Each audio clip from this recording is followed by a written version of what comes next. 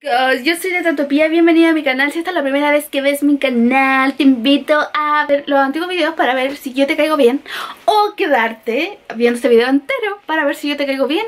Y así si te caigo bien te suscribas a mi canal Y si no, juego una pérdida de tiempo Y eso no es mi problema porque yo no te obligué a que vieras mi video bueno, pero si no me conocías, puedes eh, conocerme en mis redes sociales que les voy a dejar por acá, que son Instagram y TikTok, porque ahora soy una chica TikToker because I'm a basic, basic bitch. Eh, si tengo 23 años, sí, pero igual no soy tan vieja para ser considerada como una vieja decrépita estando en TikTok. Pero en fin, es una aplicación de mierda. Pero es hermosa, porque tú empecé a decir como ya, me la voy a descargar para jugar un rato para jugar, para ver videos. Y estoy así, y después sí, mm, y si hago uno yo. Y al principio estoy así como... Nadie ve mis videos, nadie me pesca, no tengo ni una visita. Y de repente sí, mil visitas y tú... Oh, oh, mamá, que, que nadie me habla, que soy famosa ahora. Y así, y así empecé y nada. Eh, ha sido muy interesante, he hecho muchos videos estúpidos por si quieren ir a verlo, están aquí. TikTok Y nada, la pasamos muy bien Es una, es una aplicación muy bacán onda, La gente es muy chistosa Obviamente como en todos los lugares gente muy muy hermosa y Pero como que en verdad para mí es como mm, Me da mucha... Yo sigo a la gente que es chistosa Entonces eso es como... Ya está pero en fin, hoy no estamos acá para hablar de TikTok, sino para darle la bienvenida a este 2020. Vamos a hablar de algo de lo que a mí me ha hecho cuestionarme la vida y decir, ¿qué sentido tiene la vida? ¿Soy o no soy? Dijo el Hamlet. Anywho, hoy vamos a hablar de la The University, la universidad, la Universitarks. ¿Cómo fue mi experiencia? ¿Qué es lo que yo les puedo dar? Mi consejo de lo que conlleva ser universitario y lo que uno siempre espera cuando está en el colegio es yo cuando yo sea grande voy a poder estudiar lo que yo quiero y no lo que me obliga Susan, te parto diciendo el tiro que esa weá es mentira. Ahora, como sea tu experiencia en la universidad es súper relativo, tiene que ver mucho con la causa-consecuencia, con todo esto de, de la vida, de, de la vida en general, onda, como que hay, hay, ¿cómo se llama? Hay hechos que uno no los puede manipular, onda, uno puede confiar mucho en su vida, en la vida futura y decir, yo creo que mi vida sea así, así, así, pero la circunstancia de la vida te puede decir, una perra, y te matan. Así que esto es muy relativo, pero les voy a decir cómo ha sido mi experiencia para mí en la universidad, lo que fue elegir la carrera, en fin para mí fue una experiencia súper, hiper complicada porque nunca fui como una niña muy inteligente en, la, en el colegio.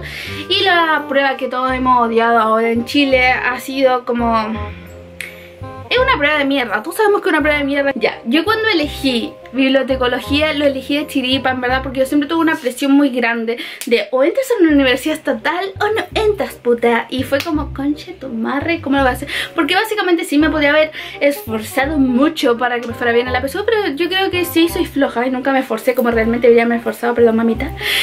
Pero de repente de la casualidad que yo veo como así como que me la mandó Diosito Veo una lista de la UTEP y me dice así, y, como que la primera carrera que salía ahí era bibliotecología y yo así como que algo en la, eh, no sé, si bajó mi angelito la guarda, no sé y algo me dijo así como, esa es tu carrera y yo, esto voy a estudiar yo ni pico idea lo que era bibliotecología pero lo elegí. De hecho pueden elegir, pueden ver cómo, cómo es la vida del bibliotecario en el video anterior a este. Y se los voy a dejar acá Ay, Susan, aplícale. Y, y, luego vuelven a ver este video. Y la cosa es que ya, yo elegí bibliotecología, empecé a averiguar así como por todas partes que era lo que era ser bibliotecario, bibliotecólogo, en verdad, no bibliotecario. Y entré. Llegó marzo del 2015, entré a bibliotecología.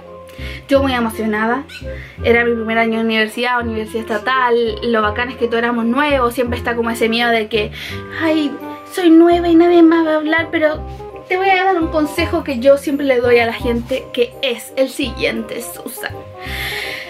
Tú cuando llegas a un lugar, la, universidad siempre es un lugar de nuevas personas. O sea, hay una infinita posibilidad de que el weón de lo esté tan cagado de miedo como tú. Onda, tú háblale a cualquier weón, solamente tienes que intentar salvarte y háblale al X y anda moviéndote así hasta que vaya a encontrar tu grupo. Lo vaya a encontrar. Ahora, si va a estar...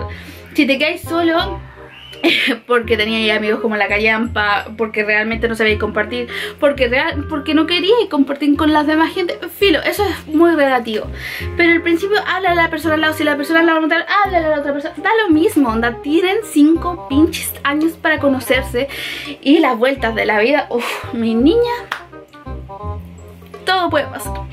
Ya, yo entré, entré súper ilusionada los primeros años de universidad. El primer año de universidad igual es súper difícil porque queriéndolo o no queriendo, igual es como la vida, así como ah, la vida de, de, la emoción. Eres joven, eres libre, si quieres entrar a clases, si quieres te vas a drogar, si quieres te alcoholiza, si quieres no vas a clases, todo es relativo. Eres libre por fin. Eh, y ahí empieza tu vida como de adulto, entre comillas. Y empiezas a tomar, que a la mayoría le pasó, muy poco, es muy poco el 10% de, de las personas que realmente es responsable. Yo no fui eso responsable. Entonces tú empecé a cachar que no es necesario entrar a clases. Entonces te vas por el mundo de la perdición. Y ahí entra a los malos ámbitos y puede ser que después te volváis un estudiante muy bacán, pero igual termináis después tomando ahí el, afuera de la universidad y haciendo esas cosas que no son de Diosito. yo no soy católica, pero me gusta mucho nombrar a Diosito porque lo encuentro como un personaje chistoso. Eso quería aclarar, por si creían que yo era evangélica o católica. Anyways, entonces es muy relativo. Pero lo que pasa que en un mundo como en el mío, eh, fue, era un lugar muy pequeño. Eh, era básicamente como, como una secta. Básicamente era como la secta de Antares de la Luz. Creo que eso es mi... Bueno, no voy a dar grandes referencias, pero básicamente lo que ha sido para mí la experiencia de la universidad ha sido como la callampa. Los primeros tres años fueron, entre comillas, dos años y medio fueron entre comillas maravillosos. Eh, alcancé como gran popularidad en la universidad porque mi carrera, o sea, en mi carrera, porque mi carrera era muy chiquitita, entonces todos nos conocíamos entre todos, entonces era como muy... Mm, mm. La cosa es que eh, debido como a malas decisiones, uno jura estando en el y esto es como para todos, uno jura que cuando está en el colegio y en la universidad y en la vida en general, los amigos son realmente amigos y, y un consejo de mí para ustedes es que no confíen en todo el mundo. Yo soy de esas personas que cuando conozco a alguien en verdad les cuento como toda mi vida y para mí es como que son los mejores, las mejores personas del mundo, pero en verdad no lo son. La verdad es que para mí es un tema súper difícil porque para mí la universidad era bonita hasta que me pasó un tema muy muy difícil que lo voy a contar ya cuando me haga más famosa. Ah, si llego a los mil suscriptores, esto lo voy a decir, si llego a los mil putos suscriptores voy a contar qué fue lo que me pasó en la universidad y mm, el cual terminé siendo odiada por la carrera, o sea, por cinco hueones.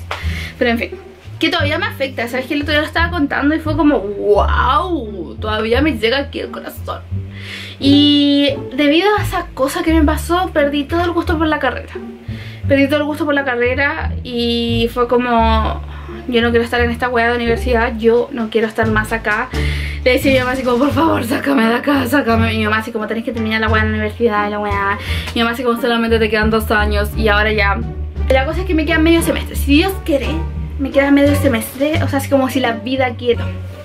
Pero para mí, este mundo, que es tan pequeño, tan enano de bibliotecología, yo dije, eso me quitó todas mis ganas de de vivir, de ser una universitaria común y corriente. Cuando te vuelves una universitaria que es odiada por, por su ambiente, es la peor hueá de la vida porque eso implica que tener que compartir sala con la gente que te hizo bullying, con la gente que te o, que tú crees que te odia y tú te sientes incómoda con ellos. Tener que pasar por todos esos momentos, echarte ramos por, por cosas que te hicieron es... Uf, y se te hace mucho más difícil no queriendo salir en ese lugar. Y no sé si fue debido a eso o fue consecuencia de eso que yo me di cuenta que yo no quería ser una bibliotecaria en la vida. Y por eso yo tengo tanto rechazo a mi carrera porque la ha pasado pésimo. La ha pasado pésimo. De hecho, pues, si ven mi video anterior, por eso yo digo que odio tanto mi carrera, porque para mí fue una experiencia horrible. La carrera en sí, una carrera igual chora, onda, podéis, es una carrera muy relajada, la pasáis bien, estáis con los libros, es bonito, Pero yo no me quiero quedar en este mundo porque si yo me quedo en este mundo de bibliotecólogos que son... Es tan chico el mundo que si ya me muero con compartir espacio con estos weones, después voy a tener que verlo igual porque el mundo es así de bibliotecología, así. Nada, ni se ve porque no hay espacio, todos los weones se conocen entre todos, entonces... es mi experiencia. Para mí la universidad fue, ha sido como la callampa. Sí, ¿saben qué? Sí, he sido como el hoyo. La universidad es un lugar muy bacán en el sentido de que uno igual puede encontrar a sus amigos para siempre. Así como hay gente mala, también va a haber gente buena. Ustedes van a encontrar a gente que los van a apoyar, que, lo, que van a decir, wow, esta persona sí realmente es mi amiga y también le da, le abre la, esperanza para que ustedes puedan crear cosas bonitas, para darte cuenta si realmente es lo que tú querías en la vida. Eh, es un lugar es un lugar que la pasáis bien, la pasáis mal, a veces te estresáis porque así es la vida del universitario, así es como el estudio en general. Pero son, es como parte de la vida eh, y creo que cada uno busca su camino. Si tu decisión fue esa carrera, quizás por algo fue. Por eso la elegiste. Espero que tu elección de la carrera no haya sido porque tus papás te obligaron. Y si no es así, mi consejo es que que trata de hacerlo lo más amena posible y si de verdad puedes, puede haber un mínimo de posibilidad que tú dejes la carrera, déjala. Y dile a tu papá porque no hay, no hay peor cosa en la vida que estudiar algo y estar en un lugar en el cual no te sientes cómodo y tienes que estar ahí obligado. No hay peor sentimiento que eso y te da una depresión horrible, te la encargo.